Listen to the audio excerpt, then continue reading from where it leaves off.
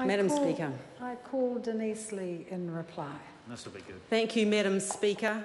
It's beyond belief that this is the point that we have reached. Throughout this debate, the government has rubbished this bill piece by piece, and I am disappointed, Madam Speaker, that they are so clearly misrepresenting the framework that it sets up with political point scoring. How can the government honestly say that this bill is so fundamentally flawed, filled with so many holes that can't be fixed by later debates, when the principles that this bill is founded on have been reconfirmed by not one but two individual working groups? That's right. These working groups, Madam Speaker, were operating under national and Labour governments with input from business and unions alike. The hard work has already been done and this bill is ready now. What we have here is the only real progress towards pay equity that anyone has seen since August 2017.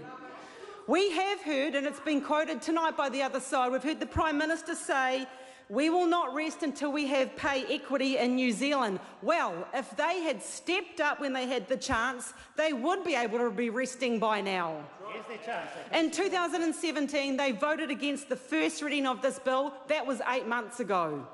They then took this bill off the Parliament's agenda. That was five months ago.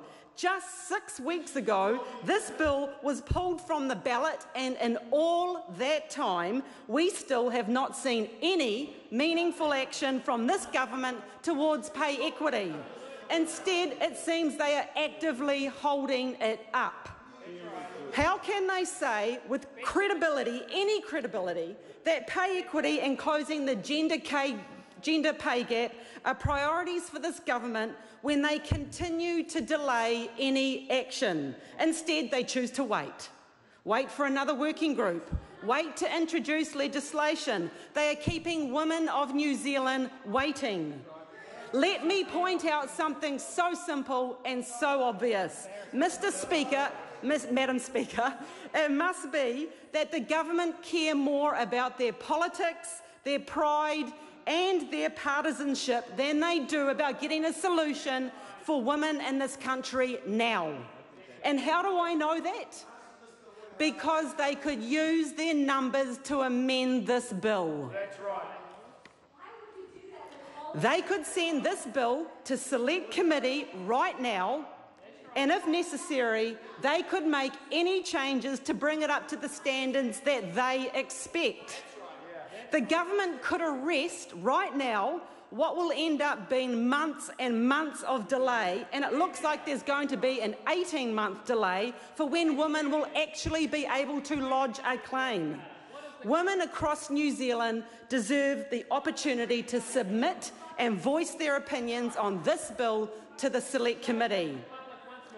Madam Speaker, I'd like to thank the speakers who join me on my team tonight, all formidable colleagues who have slogged on this topic immeasurably more than I have.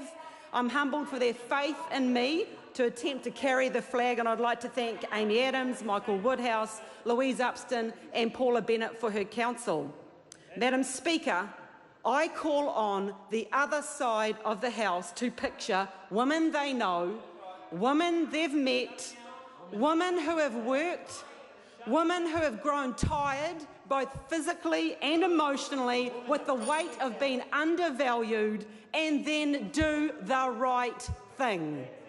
We have an obligation to vote this to its next stage so that we can engage with women in this idea. The women of New Zealand deserve progress now. The question is, question is that the motion be agreed to. Those of that opinion will say aye.